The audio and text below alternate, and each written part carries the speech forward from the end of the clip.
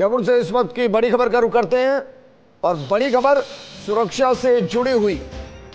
इस वक्त की बड़ी खबर, व्यापारी से लूटा इकहत्तर लाख रुपए से भरा बैग। मानसरोवर थाना इलाके की घटना, स्कॉर्पियो सवार बदमाशों ने वारदात को अंजाम दिया है। सूचना पर जयपुर शहर में करवाई गई।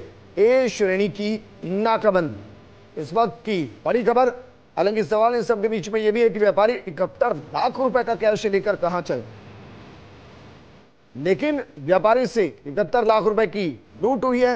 इकहत्तर लाख रुपए से भरा बैग जिसको लूट लिया गया है? और ज़ाहिर है, जिन्होंने लूटा होगा, उनको बखूबी जानकारी होगी। तभी इस वारदात को अंजाम दिया गया होगा मानसरोवर थाना इलाके की एक घटना है और स्कॉर्पियो सवार बदमाशों ने वारदात को अंजाम दिया है। ऐसे में पुलिस के लिए पहली चुनौती होगी स्कॉर्पियो को डिटेक्ट करना।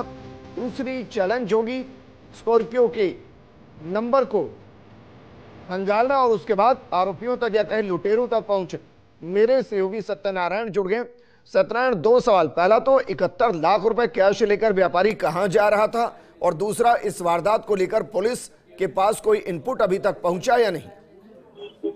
लेकिन देखिए, सबसे बड़ी बात यह है कि प्राथमिक सूचना है कि इकहत्तर लाख रुपए व्यापारी से लूटे। स्कॉर्पियो सवार चार बदमाशों ने इस वारदात को अंजाम दिया है। इस सूचना पर जयपुर शहर में कड़ी नाकाबंदी करवाई गई है। एक श्रेणी की जो स्कॉर्पियो के नंबर हालाँकि हमारे पास नहीं आ पाए हैं, लेकिन पुलिस के अनुसार स्कॉर्पियो नंबर पुलिस के पास आ चुके हैं तो स्कॉर्पियो की तलाश की जा रही है। हो सकता है कि बदमाश से आगे जाके अपने नंबर प्लेट चेंज कर ले, लेकिन सबसे बड़ी बात यह है कि फ़िलहाल जयपुर शहर के अंदर ए श्रेणी की नाकाबंदी है, यानी कि विशेषकर स्कॉर्पियो में नहीं, बल्कि हर वाहन को चेक किया जा रहा है।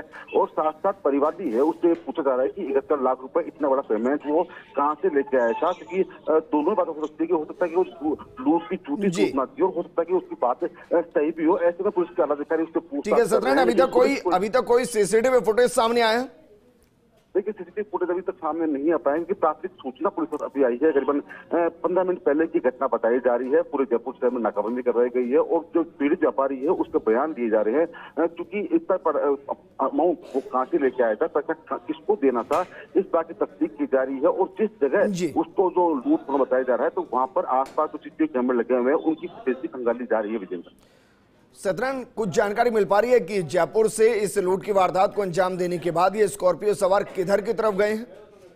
देखिए मानसरोवर से दुर्गापुरा की तरफ़ जाने की जो सूचना है पुलिस के पास मानसरोवर से दुर्गापुरा की तरफ़ ये स्कॉर्पियो गई है और इस घटना के बाद में हालाँकि करीबन सात मिनट के बाद में पुलिस ने रेस्पॉन्स दिया था पुलिस की अच्छी कार्रवाई रही लेकिन अभी तक जो बदमाश है वो पकड़ में नहीं आ पाए हैं। वही पुलिस की एक टीम जो परिवादी है जो पीड़ित व्यक्ति है उससे पूछताछ कर रही है कि इतना बड़ा अमाउंट वो कहाँ से लेके आया था कहाँ को वो उनको पैसा देना था इस सही बात की तस्दीक की जा रही है और साथ साथ पूरे जयपुर श्रेणी में जो टोल नाके हैं उन टोल नाकों पर गश्त बढ़ा दी गई है। कोई भी वाहन बाहर जाएगा तो बिना तलाशी के बाहर नहीं जा पाएगा। तो माना जा रहा है कि पुलिस जल्द ही इस वारदात का खुलासा कर देगी। सत्यनारायण शुक्रिया तमाम जानकारी हमारे साथ साझा करने के लिए।